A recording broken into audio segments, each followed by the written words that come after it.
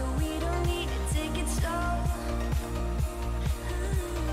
you want me, then I believe there's a simple remedy.